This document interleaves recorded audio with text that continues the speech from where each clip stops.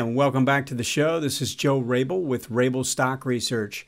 So, today I want to start out with a lesson, as I always do. I want to talk about uh, entry patterns, entry signals, and how important it is to have an understanding of if you want to get in earlier, you're going to take on more risk. But there's typically anywhere from three to five entry signals in almost every reversal pattern. So I want to go through those just to give you a little bit of an idea. Um, and it really kind of depends on your tolerance for risk. So let's look at this agenda. We're going to talk about change in trend and the entries and the different entries based on risk and your risk profile. There's no right or wrong this way. Everybody has their own way of looking at things. Some people want to be in earlier. Uh, some people want more confirmation. And in this case, I just want to explain that if you want more confirmation, you're typically going to pay up for it. And I'll show you that in a second. And then uh, I also think it's pretty important to know what MACD and ADX is doing in these reversal patterns because I think they can give you an edge and they can help you to be a little bit more confident, especially if you're going in and being a little bit more aggressive.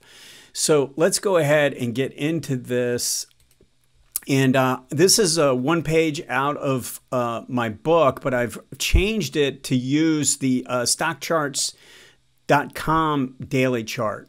The reason I did that is because I wanted to show a few extra things uh, on this video that uh, weren't included on the page from my book. So um, one of the things I think let's just start from the bottom. So if if you think about the evolution of a bottom, right? We have a declining pattern of lower highs and lower lows. We've got pretty strong momentum characteristics, especially on this leg. But then we rally up, we make a lower low. Now MACD makes a higher bottom but ADX makes a lower high as well. So that would be considered divergence. The only thing I'll say is that because this was well above the 25 level, you see how this blue peak got well above 25, I would not consider this to be all that negative or all that positive, I should say, in this case, because we're, we're at a low and we're looking for signs of divergence or momentum divergence. Uh, we have that in MACD, but this is not the type of signal where I would get all that excited about, except for a trading play, which is essentially what happened a rally back into resistance zone. So we have some resistance back here from this prior peak, from some of the moving averages and everything. Uh, that, you know, yes, you could say we've got a potential for a rally. But now, if you look at the next decline, um, you've got another layer of divergence in MACD. This makes another higher bottom. And you always want to compare the most recent bottom uh, and not go all the way back. I mean, that's my preference. I like to look at these uh, more immediate uh, comparative lows.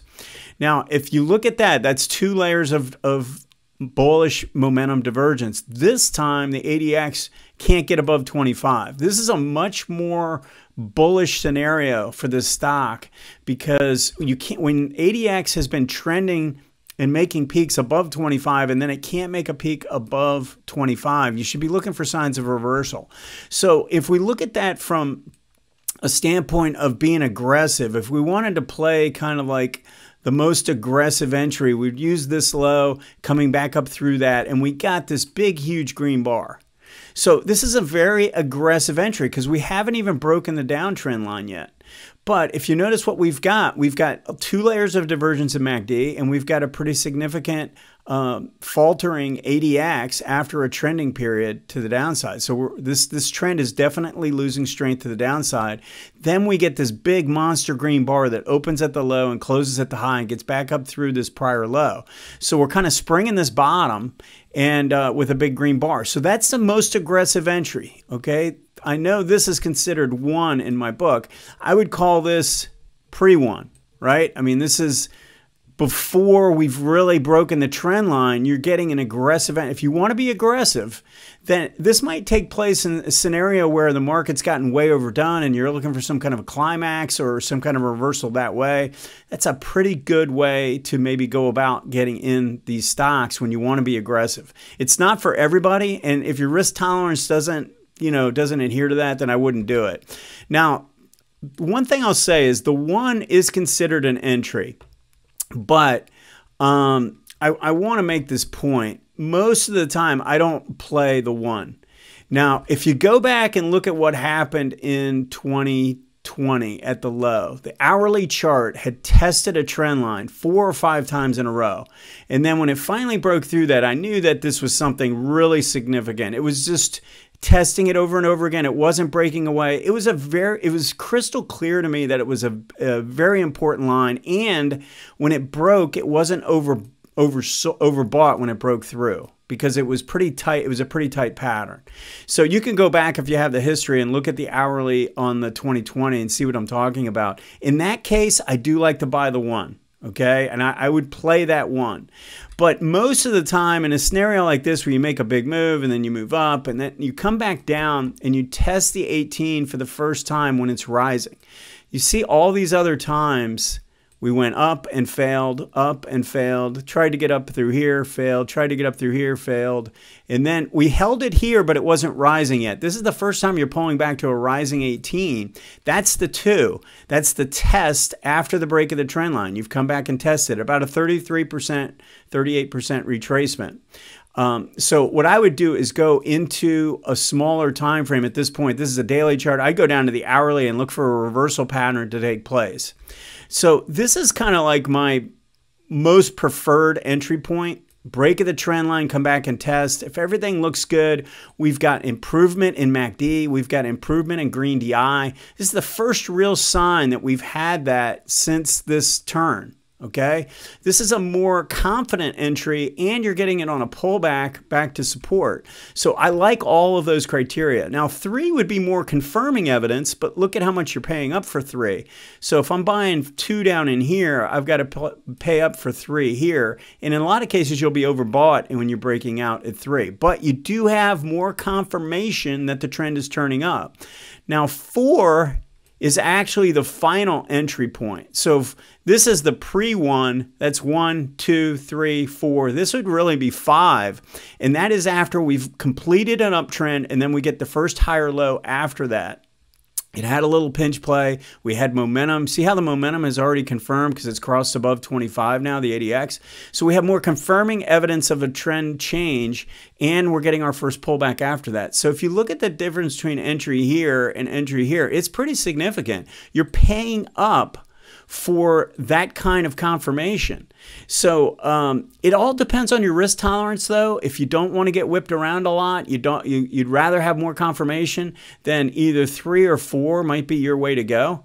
Um, if you like to be a little bit more on the aggressive side, you could play this way.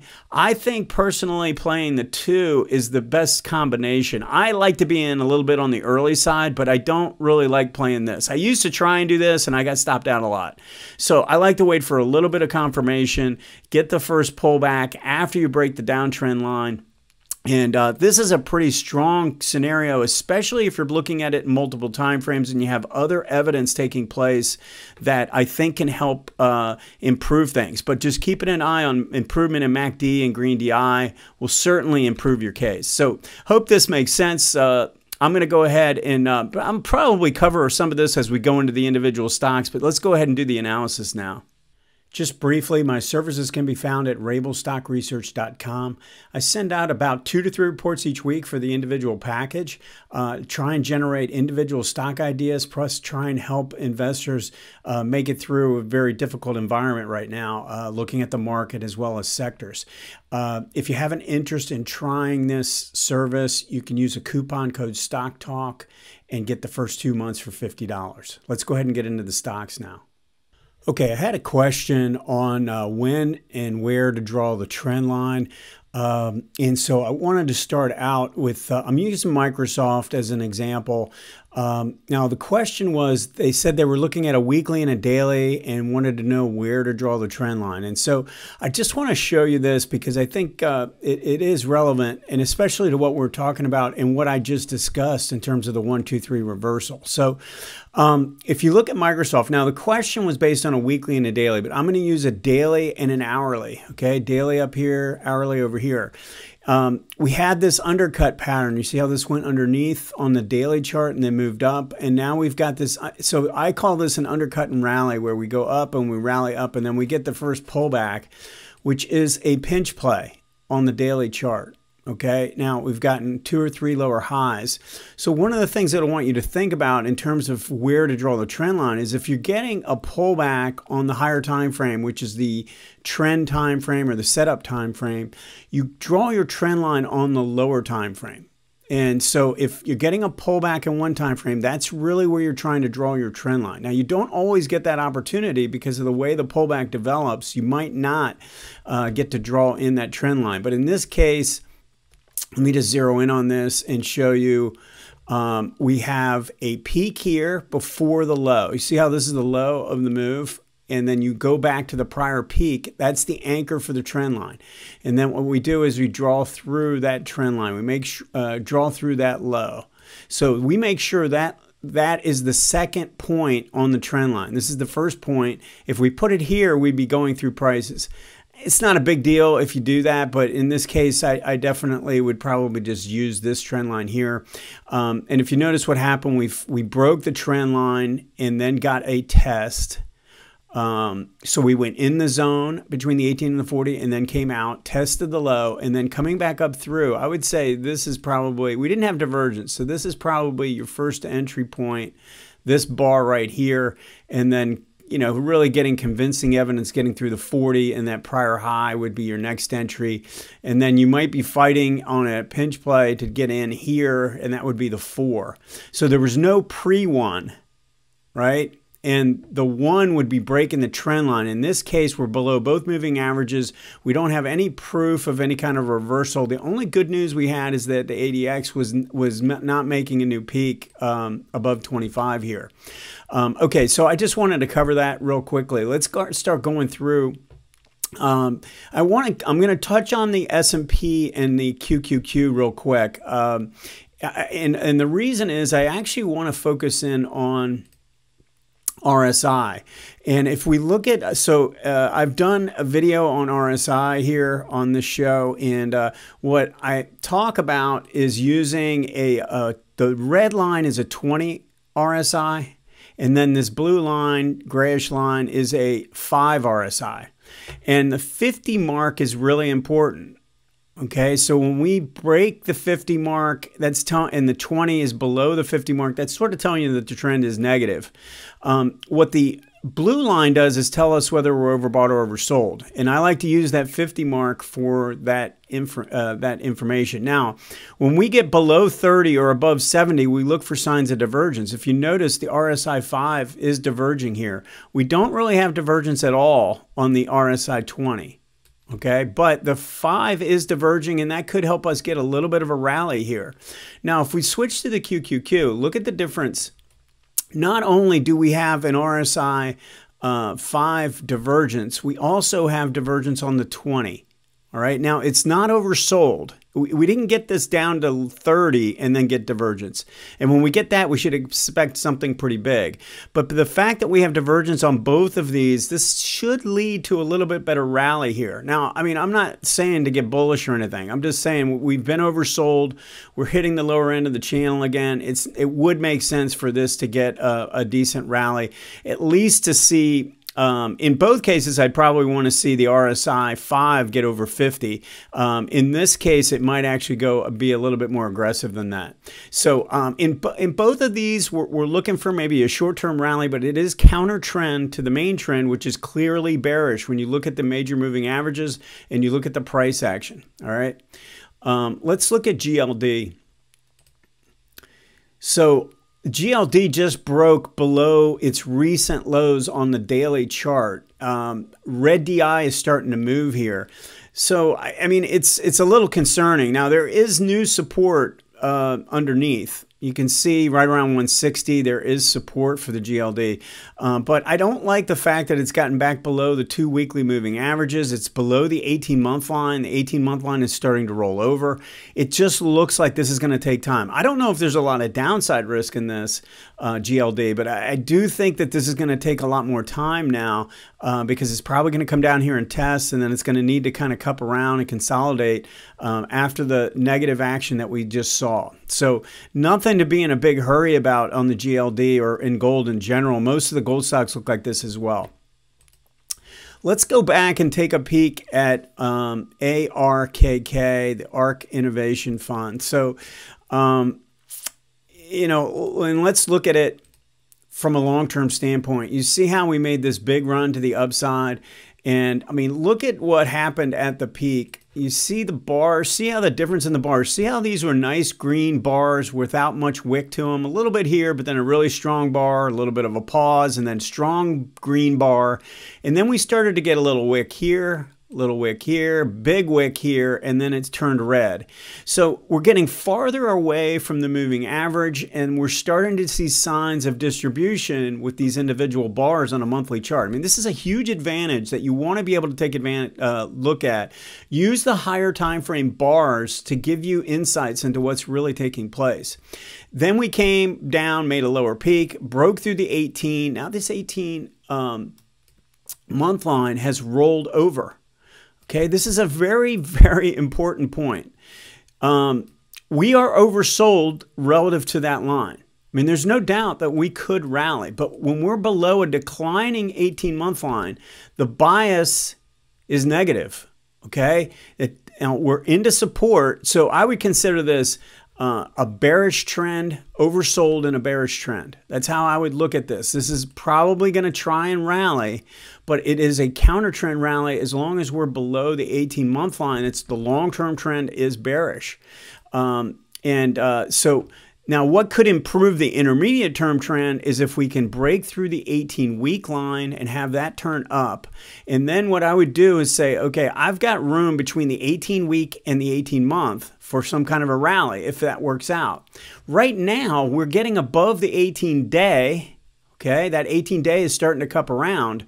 If this can have a little bit more follow through, then we can assume we're going to make it to the 18 week. Okay, so you use the 18s as your barometer for the next uh, time frame's resistance. So if I get this one moving to the upside, now I know the resistance is coming in around 50 bucks. Okay, if I get through 50 and I can get this to cup around and flatten out and cup around, then I know what my next target would be on the on the monthly chart. So use these uh, 18s that way, and I think it'll keep you on track. And this is a whole one of the main reasons why I love using multiple time frames. Okay, so um, some individual stock requests. I had some. Uh, it was an interesting week in terms of the requests, um, but I definitely wanted to cover a, a couple indexes anyway. So. Um, look at what's going on with the Micron. Now, the semiconductors, generally speaking, have not traded well at all. Uh, we've got a move, another break in uh, Micron where it didn't hold support here. Um, and that just happened recently, just in the last few weeks. Um, now we're coming down to the next pool of money, right? I've got I call this a pool, and we're coming back. We're coming back to the upper end of that. Um, momentum is not that strong. We're only at 22 on the weekly ADX. So it's very possible based on this, because we've made a pretty good drop, and the ADX is not above 25. So when I see that, I'm sort of inclined to believe that this area is probably going to hold at 50 and this may end up forming some kind of a trading range or something like that. Now, don't get me wrong. This has some pretty good resistance where it broke down from. That's that's going to be a problem, but it does look like it could end up forming a range between there um, between this area around 50 and that breakdown point. So um, just something to keep in mind with this because it's uh, it, it, looks pretty ugly, but I bet in the near term the downside risk is probably not all that bad. Uh, again, at least for now. Uh, ABBV is pretty impressive. Uh, look at the trend on the monthly chart. The 18 and the 40 moving up at about the same rate. We've got confirmation on MACD. We've got confirmation in ADX. The last peak here to the upside on the weekly chart was confirmed by uh, both MACD and ADX. It's a bullish sign. But in the process of pulling back, we broke the 18 and that's kind of flattened out. So what I normally expect when this happens is for this to consolidate and have these two lines kind of come together. The 18 and the 40 should come together a little bit more. This should work its way back closer to the zero line. Um, and then I think we'll have another buy setup um, develop. I don't want to take this reversal here. You see how we've got like a one, two, three developing? The problem is we did it from such a deep level and the 18 is rolling over. I think that's wants to act as resistance. The MACD is kind of turned the wrong way. So don't get caught up in looking at this before looking at this. Always look at the higher time frame first and then go to the lower time frame. Okay, so I have another uh, question that came in regarding um, this MUSA. Very nice looking pattern. We made a nice move to the upside and then pull back on the uh, weekly chart back to an 18, which is rising above a 40. They're moving up at about the same rate. ADX is very strong, but notice what happened in the MACD. So we had a pullback, and if you notice, it was kind of sharp that was kind of a sharp. We had a little gap in there. It was a pretty sharp little pullback. We had overrun in MACD. Now this is strong and this is kind of overrunning. So how do we look at this? What is our what is our um, standard operating procedure when we see this? For me, I I don't want to get caught up in playing the first move in most cases. Okay, I, I don't want to do that. I'm expecting some kind of a retracement back up and then a move like that. All right. So I know that in the back of my mind, but this is really strong ADX. And I mean, this is a, a, a, retracement back through the signal line, but the overall pattern really does not look bad. If we go to the daily chart, and this is where the question came in, we had this move to the downside that caused overrun here. All right. Now, we moved up and came back and tested and if you notice, the MACD actually held on the test. You see how the MACD held above its signal line on the test? So I think that's good enough to consider that a, a, a good enough test after the overrun to consider this to be an entry pattern here. All right. So I wouldn't have a problem doing that on the entry side. But as I mentioned before, looking at the weekly chart, I'm inclined to believe that this wants to come back and test. So if I want to take this entry on the daily chart, it's pretty simple what I would be doing. I wouldn't have a problem getting in there, but I have to use this as a stop, this low here. I can't use this one um, at this point. All right, I've got to stick with this one. And the reason is, is because what I'm seeing on the weekly chart, it's suggesting that this could come back and test again.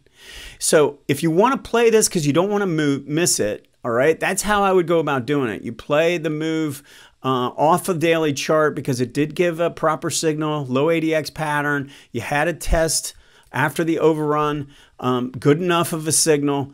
And um, if if that's the case, you want to play it, that's fine, but you got to give it more room to start. Now, if we pull back again and hold the 18 and then turn up, then from there you can raise your stop a little bit higher. Let's look at a couple more stocks. Um, so I really like looks of this III. Look at this coming back to the breakout point. It's pulling back to the 18 month. We have really good momentum conditions in place. What's missing is we need to see that test. You see how this is the overrun on the MACD on the weekly chart? We have low ADX, but what we need is a move up and then a test. And this needs to kind of come up and test as well. Come up and test the signal line. All right, so we need some little bit more of a move and then come back and test the 18. If we have that set up, I think that's a pretty good looking pattern. Something you could definitely consider doing. So um, something to watch. But if you notice, we need a little bit more strength and then we need to hold on a pullback. I mean, we're asking a lot in a in a bear market. It's this stock would have to do a lot to get itself set up, but it's one I would keep on my watch list. LivePerson is uh, is interesting from this standpoint. We we know what we're seeing in the QQQ with the divergence, right? Look at this. We had a move down and then a rally up and a move back down. Notice how MACD is making a higher bottom. Now, we don't have any kind of divergence in ADX. So what does that mean? That means we could look for a trading play. Okay, we can look for a trading play back up into resistance. It's not like we're going to, I don't think we're going to see a big reversal, but we are coming into pretty big support. You see how this came all the way back to the breakout point here? So this is a stock that you could go down to a daily chart, look for entries on uh, as a potential uh, rally, you know, could ensue, at least getting back towards the uh, 20 area. So anyway, something to keep in mind just based on the way this is setting up and the way the cues are setting up. Now here's one of the main reasons why I use multiple time frames. On the higher time frame here, this was a stock that I was watching, it's moving up and then it pulled back to the 18 month. We had confirmation on this time frame. As we're pulling back, we're making lower highs and lower lows on the weekly chart. What never happened, we never got the one.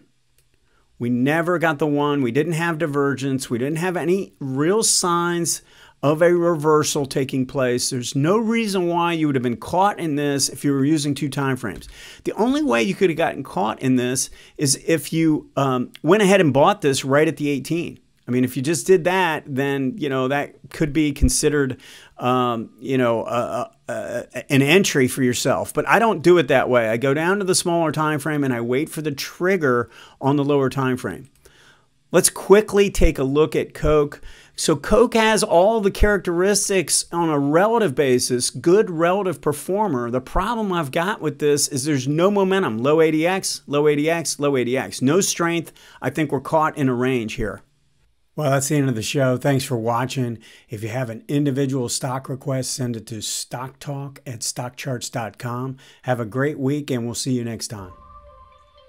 Hey guys, Dave Keller here with StockCharts.com. Thanks so much for watching our video. If you enjoyed it, and we hope you did, hit the like button right below. Also, we have so much new content every day. Consider subscribing to the channel. Just hit the subscribe button in the video or right below. Thanks for watching. Stay safe. Have a fantastic day.